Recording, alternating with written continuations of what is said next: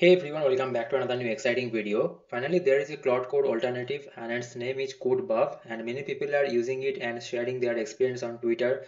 And that's why I thought to make a video on this CodeBuff and I have also installed it uh, in my terminal. And here you see that these are the comments and I have also made some agents in my current directory. And if I show you that uh, these are the agents so it will create this dot agents folder and inside this here you see css layout expert agent front-end debug expert agent front-end project manager agent and this react specialist performance optimizer agent javascript developer agent ui component builder agent. So in this way they will create some agents and for typescript also here you see uh, there are some tools and def agent definition that they will create.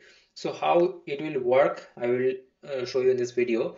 So first of all i will give uh, this link in description this github link. So go there and you will find this kind of repository. This is the interface. So here just come down below. And uh, also they have given one image that uh, this CodeBuff is beating Claude Code. And uh, they are scoring 61% and uh, Claude Code where is 53% okay. This is their one evaluation on uh, 175 plus coding task here you see. And uh, after doing that evaluation they have found that CodeBuff is scoring more than this Claude Code. Okay well uh, and also they have uh, given one example that how it works. So when you ask CodeBuff to uh, one task like simply add authentication to my API so it might invoke uh, this kind of agents. So they have the multiple agents that I have already shown you. So you just uh, tell that um, you need one uh, requirement and CodeBuff will decide that what agents it needs and it will automatically call that agents. Here you see this is the uh, uh this is the image. CodeBuff is at the center and around this CodeBuff there is a reviewer, researcher, thinker, planner, file picker, agents. Okay so this is a multi-agent approach that will give you the better context understanding, more accurate edits and fewer errors compared to single model tools. So in case of um, in case of Claude Code, there is single model tool and but here in CodeBuff, there is a multi-agent approach that they are seeing. Okay, now how to install this? So go to this GitHub repository, scroll down below and find this install and start coding and just uh, copy this command npm install minus c uh, CodeBuff it will install that globally. So let me show you. Here you see I just did it. And after that uh, go to your project and just run this code buff. So I have already my existing project. So inside this existing project uh, what I have done that uh, I have opened it on CMD terminal. And after that I have just run this code buff. Okay after running this command here you see that download complete. It will download some of the necessary things. It will do that setup and after that it will ask you to enter uh, to uh, it will ask you to press the enter because it will do some validation and uh, login authentication. Okay. Now it will give you one link. So just open this link on browser and after that it will ask you to that to do that authentication uh, via github. So here you see that continue with github. Just do that and after that you will see that authentication is successful. And after that uh, you will get this kind of credits. So if I show you that uh, you will get 500 free credits monthly here you see. So each month it will be uh, revised okay. And uh, this 500 free credits monthly then if you just um, uh, want more credit then you can pay this amount okay? So this is not a free model. Mm, just 500 free credits are will be given to you in each month. And after that if your credit gets lost uh, means if you have consumed all of your credits then you have to pay for this one and uh, for one credit okay?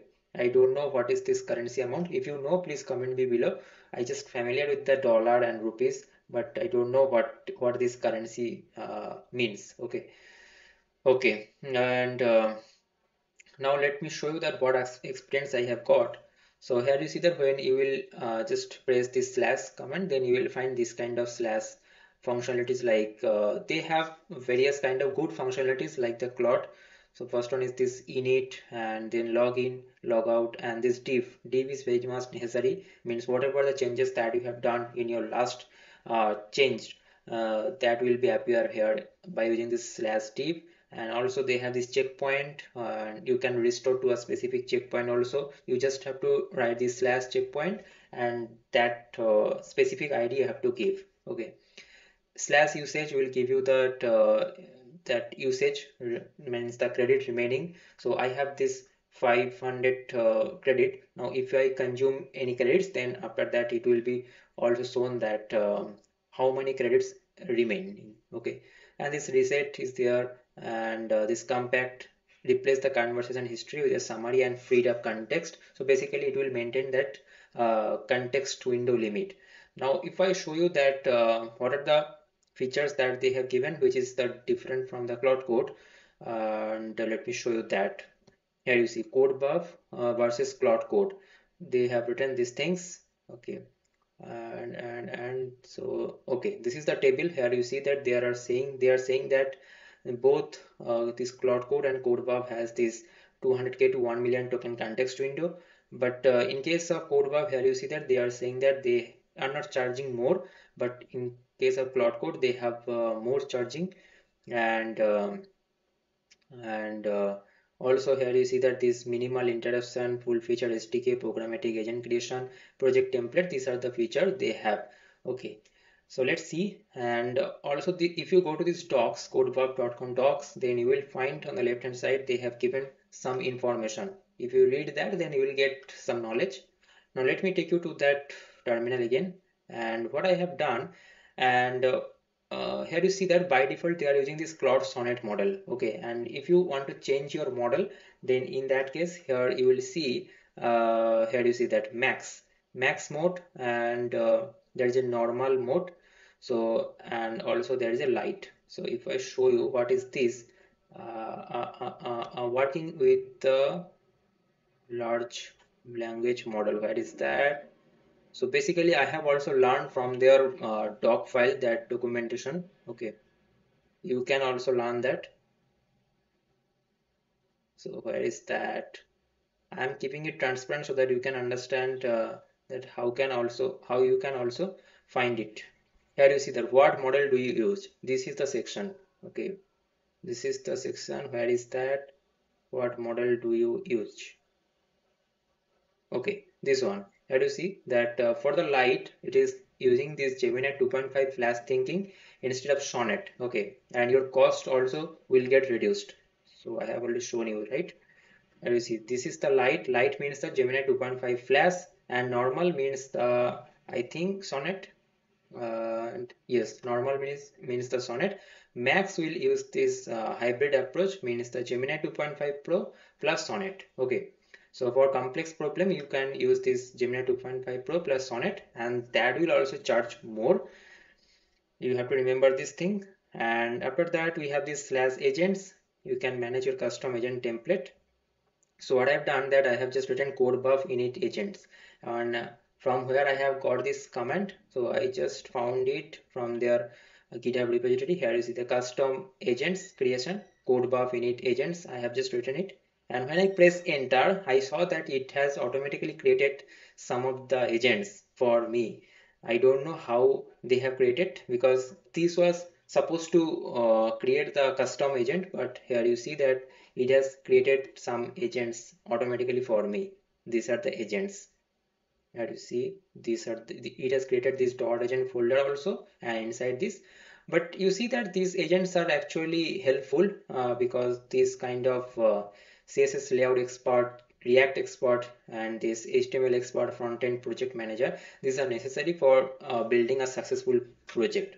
And after that here you see that it is showing uh, 87 credits used for this request. Okay. And after that i have just asked it the slash usage. And here is session usage 93 credits remaining 407 and the interesting thing is that and i also got amazed.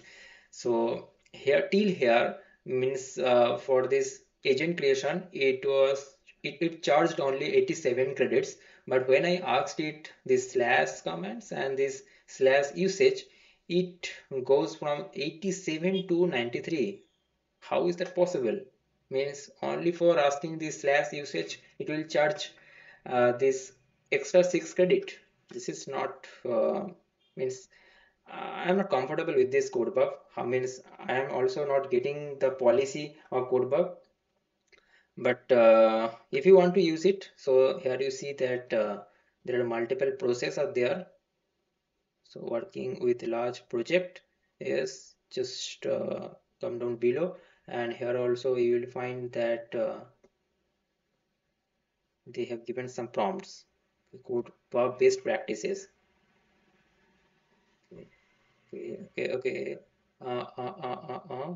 okay. So you can write these things that uh, so whatever the things that you want to do with this code buff you have to just write in this way that um, suppose you want to generate some scripts. Just write code buff and inside this uh, inside this um, what you can say this quote quotation. Inside this quotation you just have to write a write a script to calculate our blah blah blah. For documentation also first write code buff then inside this uh, quotation just write whatever your requirements okay? In the same way how do you see? Same same things. Okay. Code review. So if i just write that code buff please review my code okay. So in this way it will do that things. If I just go there and just paste it. Current changes and here is checkpoint to saved and it will think because it is implementing that Claude Sonnet thinking. And here you see that it will read all of the files html css and js maybe this code buff is best than uh, or you can say better than Claude Code but but after using more and more it will be clear to us.